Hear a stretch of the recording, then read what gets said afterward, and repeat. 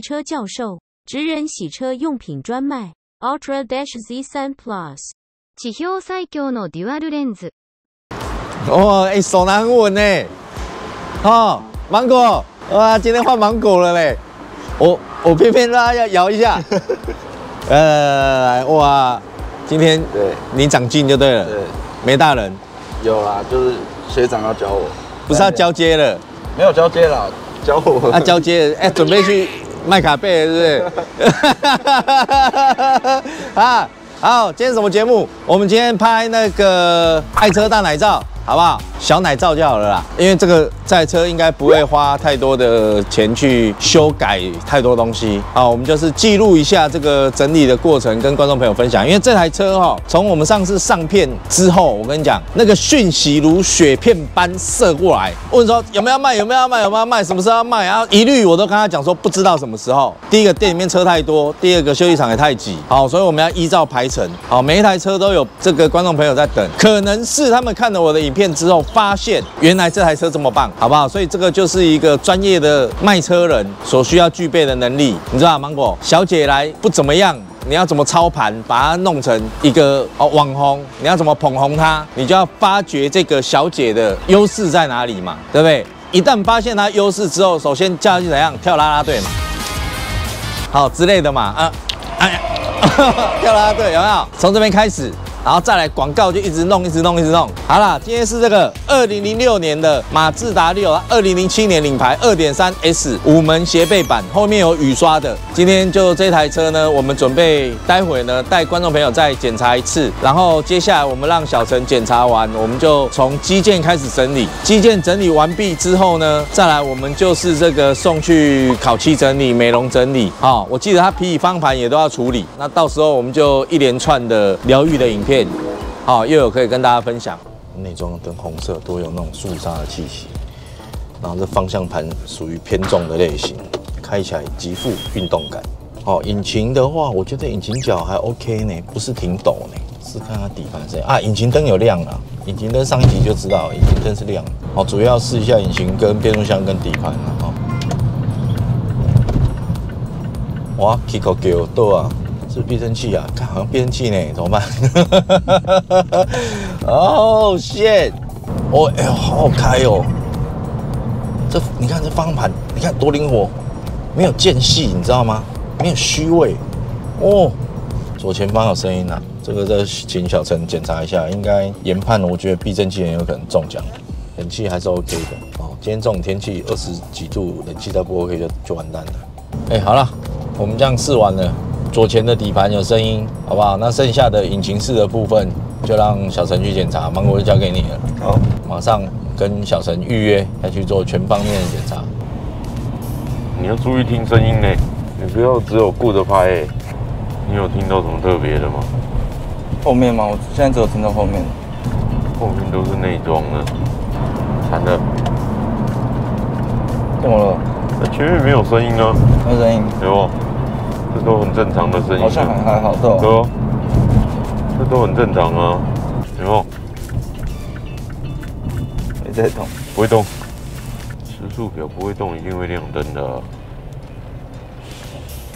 亮引擎灯啊，还是 ABS 都会哦，都会哦。因为感感测不到时速啊，你要看一下里程会不会跳，下面的那个小计里程，啊，分钟里程，现在是多少？现在是多少？一三六点八，一样是完全没动。一三六点八。对，真的没有异音啊！你看这个路够烂了吧？上次你有试吗？有啊，我上次你在车上，那有声音吗？有有声音，什么声音？抖抖抖抖那种。然后在前面，在前面，左前，后面没有，不会吧？他自己修复好了。不是啊，你有听到吗？现在没有啊。跟上一次的，没有，上一次很明显。呃，这一次没有怎么办？我们等一下再试一圈，没有我们再回去用看的。上一次你跟老板，老板两个，嗯，好天气还是坏天气？哎，好有下雨吗？没有，没有，没有下雨。哦，那是那应该试不出来。下雨天水有的时候会润滑那些关节处，所以你就听不到声音啊。所以有的时候天气也是一个重点。嗯，好了，不知道要怎么抓，声音在哪？要要等好天气再拍吗？不是，现在没声音，我找不出然后我们可以先拍这些了 OK 好不好？好，我等下先用电脑看一下是什么问题，就能看的我们先干嘛。嗯嗯，气管控制阀讯号太低，就是它的火车头坏了。ABS 通讯模组有误，这是引擎灯显示这两个故障。然后我们去看底盘的电脑故障，不会吧？这么严重？哇，ABS 坏了，变速箱模组通讯有误。那我等一下先把它消掉，消掉之后，然后再把底盘的消掉，嗯，看它确定是哪一个，然后看时速表会不会动。哦，ABS 掉了，然后 ABS 那边都没了，哎又有了。又出来了，然后它现在引擎灯亮了，我们先看一下引擎灯。现在又亮了什么东西？ABS 通讯模组有误，嗯好不好？好，那我们去底盘的看，看 ABS。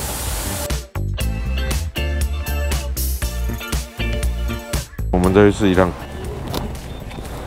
哎，亮灯了。等一下，我们再来看，我们电脑还插着。哎，时速表有了。那个里程好像有都零点五，对，现在有声音了，有声音了是不是很神奇？有没有？嗯，很明显的吧？都在这里，有没有？这这次很明显啊，嗯，根本就不同台车嘛，是不是？哦，有有没有一？直扣扣扣扣扣，有没有？车有时候就是这样，我也不知道要怎么解释。你看这一次声音是从头到尾都有，而且很大声，很明显。嗯，好了，这样我们可以回去了，有声音了，太好了。现在剩下引擎灯，应该也是 ABS，对吗？嗯，所以基本上应该都还是 ABS 系统的问题。来吧，我们刚听的声音大概是在这里，这个橡皮旁边的间隙有没有很大了？嗯有没有看到？嗯，哦，我等下摇它就会动。有看到吗？有啊，你看这哦，这边间隙更大，看得到吧？有看得到，对吧？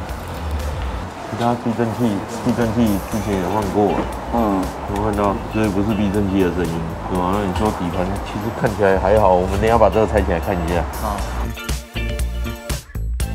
有没有看到下护板干干的？嗯，其实还不错呢不。错，哎，这颗油油的是，这个是机油芯，哦，机油芯到时候垫片换掉就可以了。嗯水龟座这边有有在开始渗了，有结晶跑出来了，这里。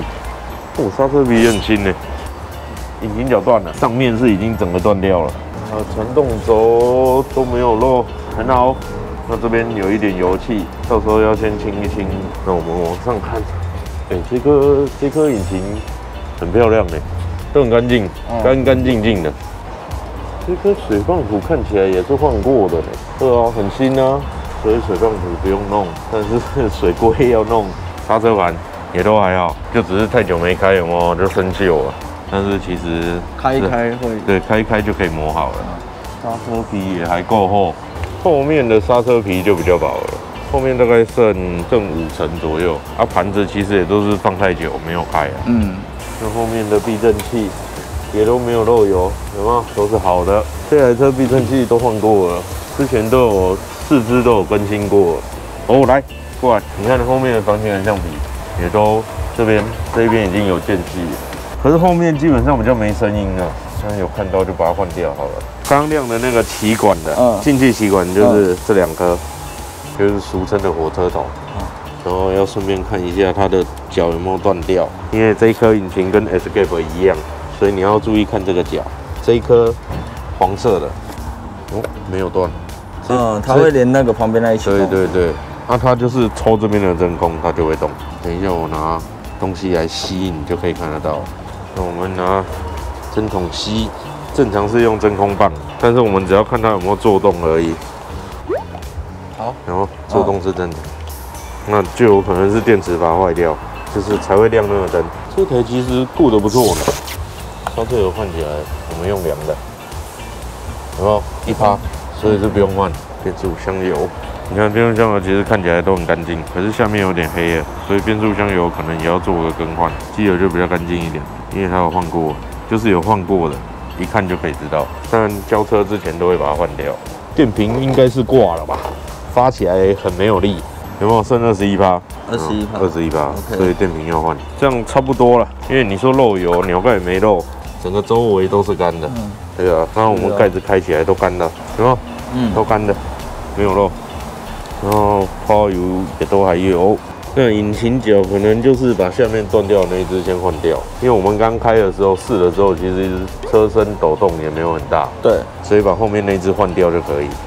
皮带也都之前应该有换过，不然如果十几万没换过，应该不会这么健康。好，大致上是这样。ABS 比较麻烦，ABS 在这，这颗啊，对，这一颗就是 ABS，它的通讯是有问题的，所以有可能是这颗拆起来去送修。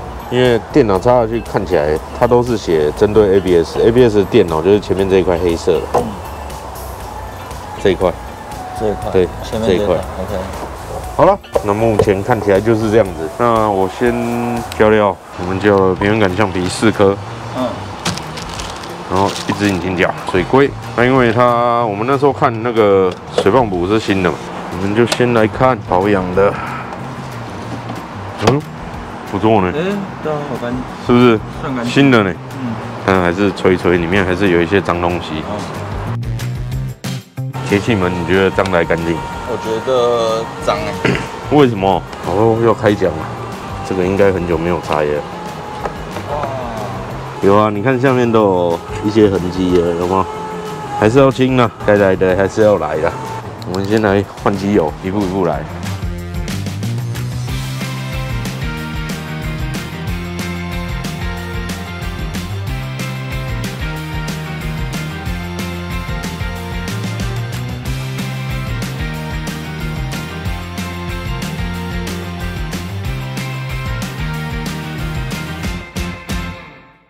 下来我们就可以看它坏有多彻底，我已经看到它的橡皮已经裂开，上面这边全裂，哇，下面也是。新的，新的。我们要来拆不好拆的防倾杆。了。那么我们防倾杆橡皮在这。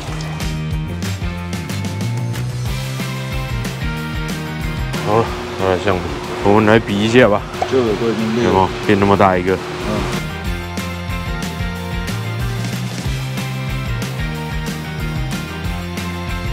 哎，这台车是收回来的。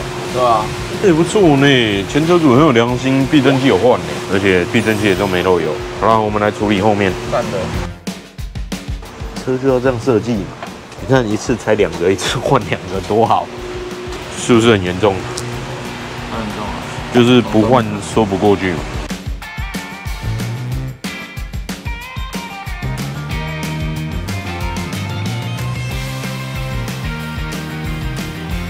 是锈了，哇，对，都是锈，好扯哦，什么好？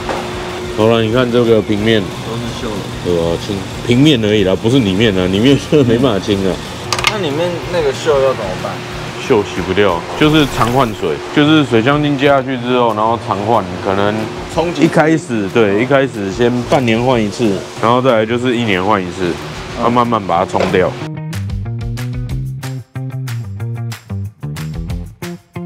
好了，平面大部分是出来了，只是这个面非常的不平啊，所以这个呢，基本上就是要打胶去填补那个空隙，不然这样装上去就死定了，装上去还是漏。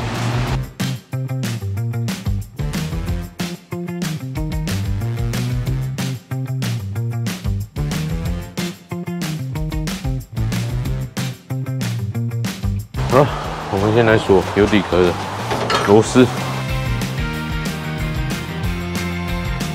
按一按，空气又跑出来。你空气挤在里面，它又不会自己排出来。那、有一些挤在引擎里面，根本就排不出来。所以你要要接温度表下去试。那我们试到下水管热就可以了，就表示有大循环。大循环基本上就把里面的脏的都会洗出来，然后我们要就浮出来我们要趁热的时候嘛，嗯泄水。因为什么要热这样流速比较快，哦，热的流比较快，对吧？而且压力比较大，近上限了。嗯，它、因为它这边六十五度要到上限，那我们看现在大概是六十六十二度，好所以基本上我们漏出来多少加多少就不会错了，有没有？，OK，对啊。看一下结温那个水龟结温器有没有漏？没有，你看我们打了胶，有吗？那你看除了机油芯干干净净，没有油啊，清哦，有油的话，它就会先从这个旁边，嗯。这边会先渗，再来这个边缘会先渗，嗯，对啊，除非是壳破掉啊，壳破掉也有可能，它那个几率很小啊。好了，那我们熄火换水。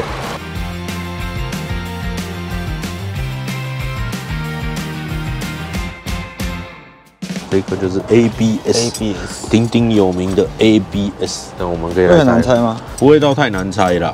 难猜的是固定座，那些全部都是油管，全部都油管。它插那么多根。它两根一进一出嘛，哦然后四根就是负责控制四个前后左右的分棒。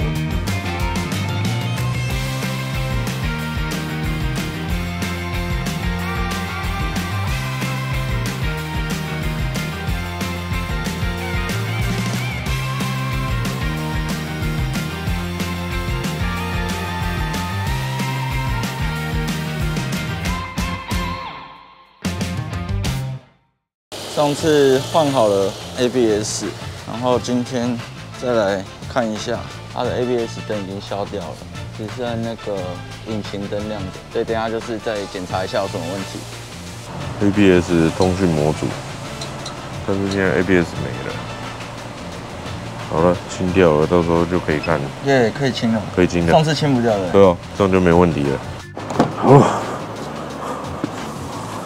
我们又要去试车了。车有力哦。哦有哎呦，哦，可以哦。你有发现它方向盘换新的吗？当然有，握起来不一样。不一样，对，握起来比较厚，真的是不错。好开哦，哎、好开呢，你坐着也舒服啊。舒服啊，很对哦，很顺啊。对，真的是安安静静，也试完了，耶、超顺，没什么问题，对，而且都没有亮灯，然后刹车还很力，超力。又准又利。所以啦，太棒了。那接下来就可以去做外观的整理。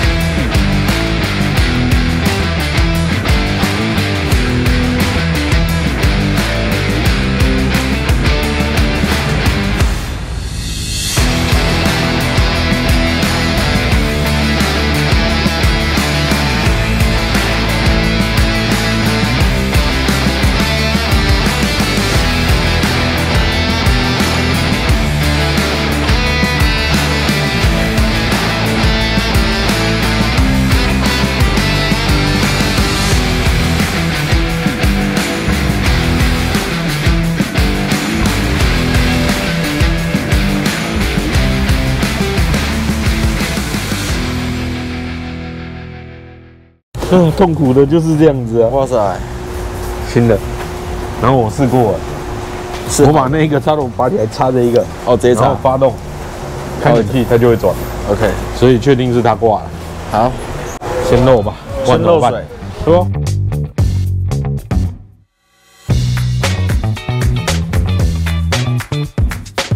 别动，松了。然后一半，然后我们等一下拆旁边。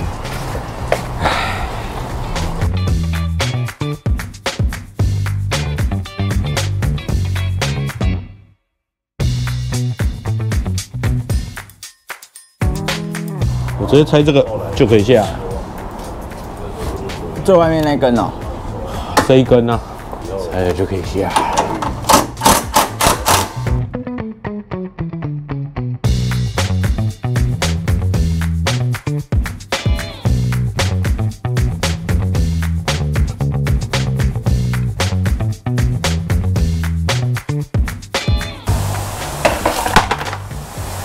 烂风扇，但是不要再拍马六了，要也拍新款的，不要再拍这种的，这种的换个风扇哦，弄死人。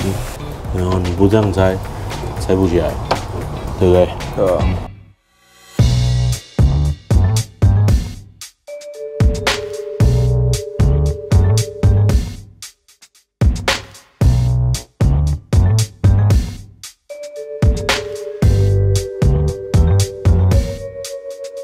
对哦，有有好了，洗我成了。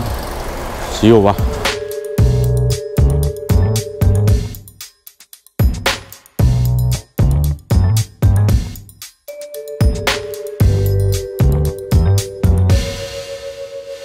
汽车教授，职人洗车用品专卖。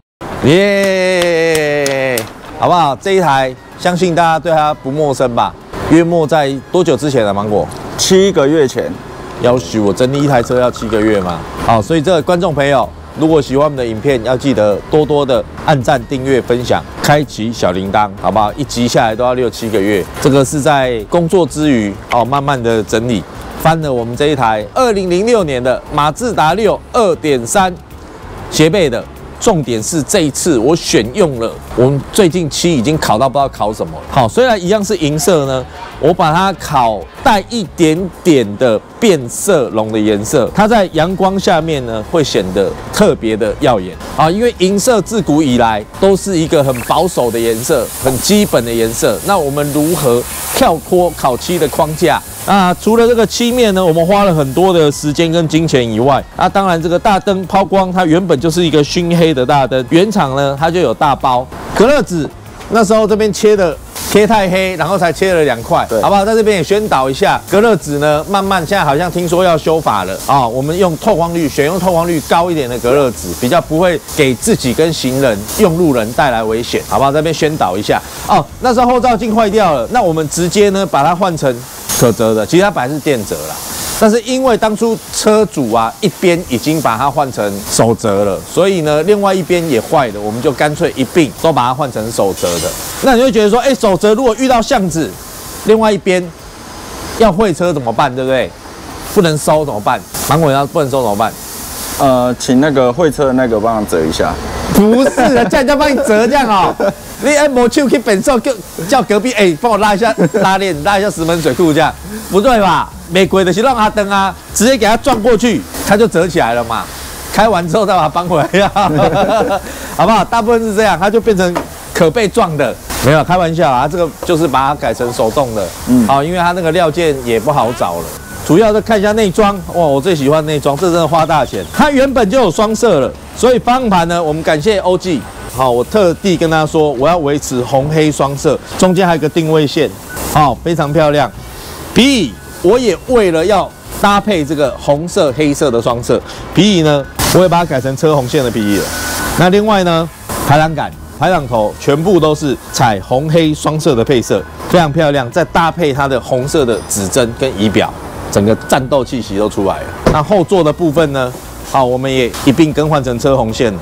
好，那在这个椅子拆去整理的途中，我们的地毯也都清洁，全车也都清洁完毕了。斜背的部分，哇，你看，哎、暗暗内含光，就是这种的低调中的高调。虽然你看它是银色的，很低调，远远看到这个熏黑头灯，原本的二点三 S 跟马自达六字标绝对要留着。哇，这个颜色从这个角度折射看，真的很漂亮。原厂就有的双出尾管，原厂的尾翼继续留用。好，那后面的清洁，哎，干干净净。哎，你看清的多干净，像它新内的。所以一台车啊，只要它底子好，整理起来都漂亮，看着就赏心悦目。哎，其实正常我应该没有要开，那我等下我忍不住要出去开一下，好不好？因为呢，我们的工单又来了，工单呢我们就列在旁边给跟大家分享。那总共又花了十几万，我们这台车那时候有买到超过十万吗？八万而已。哦，那就还好。这一台整理起来要二十万了，对，那怎么卖？经由小陈的整理之后呢，我想要出去试看看。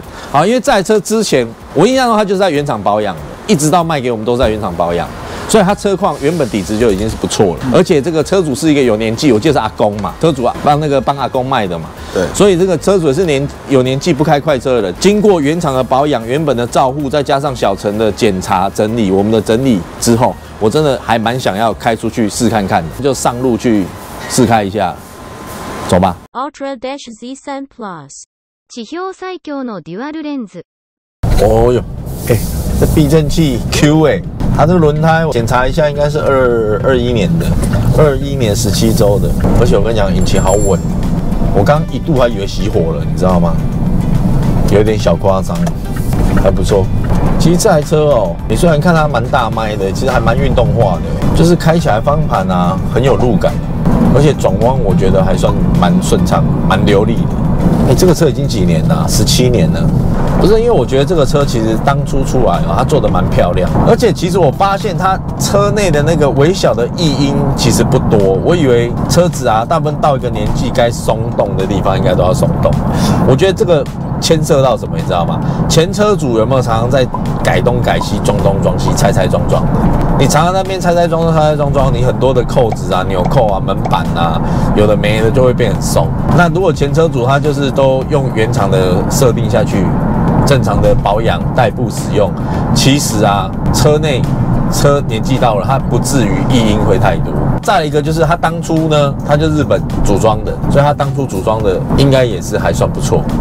所以呢，它的整个那个，我现在开起来感觉啊，除了我感受到的底盘的那个回馈比较大以外，它可能底盘的隔音没有做得很好，所以其实你感受得到从底盘传回来的一些震动的声音、轰轰的声音以外呢，其他的我觉得内装的部分都没有太大的音。来哦，我有个大弯，不不会有什么过分的侧倾，所以它这个悬吊还不错哎，悬吊巨哥应该没有修吧？没有，因为它原来的悬吊真的就不还不错了。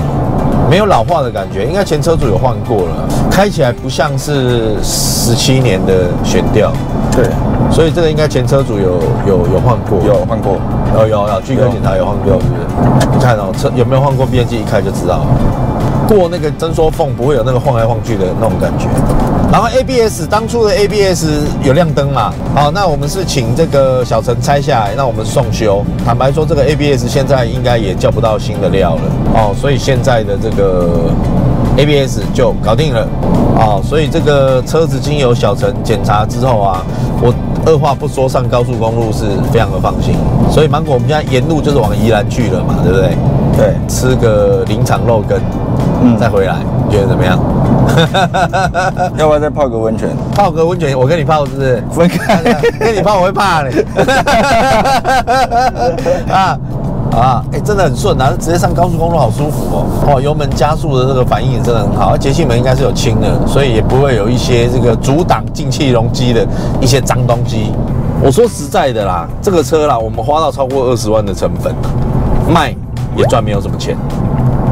搞不好还了钱，我们怎么卖都不划算呢？假设我成本二十啊，你说卖二十五我们就赚到了吗？我觉得没有哎，我们花那么多的时间、人力、精神，还要拍片去记录，那么多的老师傅花了这么多的心血在这上面，其实把这些时间成本算下去，不要说卖二十五，卖二八、卖三十，认真要算都不会是赚钱的，怎么算都是赔钱。这个车其实当初哦估完车那一集之后，询问度很高。但我相信我这样整理完，应该很多人买不下去。所以啊，我觉得这个也也也也反映出一件事情啊，其实有时候整理车是标准不同。对，有些人他可能照我们之前买回来这样，他搞不好他就随便弄弄，他就可以整理，就可以开得很爽。不太用整理，他就开得很爽。我们是用一定的标准下去整理，我们的标准如果跟你不一样的时候，你可能就觉得你花不下去。所以哦，这这也跟大家讲一件事，就是如果你是一个觉得标准很高的人啊，你买老车回来随便整理破十万，真的轻轻松松。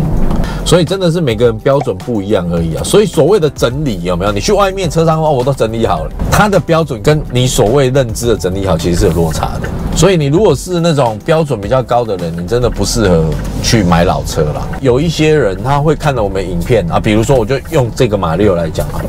你如果可能有些人看了这马六，觉得说哇整理好多，对不对？花了十几万呢。对啊，他可能来买，他的认知会觉得说哦，那我买回来我一定跟新车一样。其实不是，我们也只能就我们目前所检查到的，我们能力所及的。去把它翻新而已。你想想看，如果你的标准是全部都要换新，那你为什么不去买新车就好了呢？好，所以呢，我们只是用我们的标准下去把这个车尽量的还原。但是你说它要像新车，绝对不可能。那大家都买旧就好，谁要买新的？所以呢，我觉得说这个认知上面可能还要有一些些的调整。言归正传，它还是一台十七岁的车，它的设计跟它的有些地方的老化，真的就是没有办法完完全全的把它还原，我们只能尽量而已。好，那我们去接个贴纸。好了，要贴哪里？鼻屑啊，最后呢，我们好久没有赋予它勋章了，嗯，就贴这啊，你觉得嘞？还是要贴在马六上面，呃，好像二点三那边好像比较好。还是马六下面？还是二点三上面？二点三旁边？上面呢？上面懂怎？二点三上面哦，哎，有点怪。怪怪的，二点三下面，怪怪，哎，也怪怪的。哎，它这边呢？贴中间哦，是暗暗比暗暗底，贴中间太太多东西了。太穿了啦。好，好了，我们贴低调一点，希望下次呢，网友你在路上看到这台车的时候，可以拍照传到我们的粉丝页或者是 IG take 我一下。很多人都会做这件事情，我常被 take，这样有真的吗？哎，有，哎，右边再下来一点点。右边下来一点，这样。啊，这样，这样，这样，这样，对对对。妈的，你说的哦，没有机会，有啦没有机会给你犹豫。好，质感有没有？好啦，又完成啦。那我们这个整理车的影片、改造的影片、还原的影片，就到这边跟大家分享啊！记得订阅、按赞、分享、开启小铃铛，支持我们继续做这种烧钱的影片。这个车就算卖出去，应该也赚不了钱的，好不好？那下次见，期待，拜拜。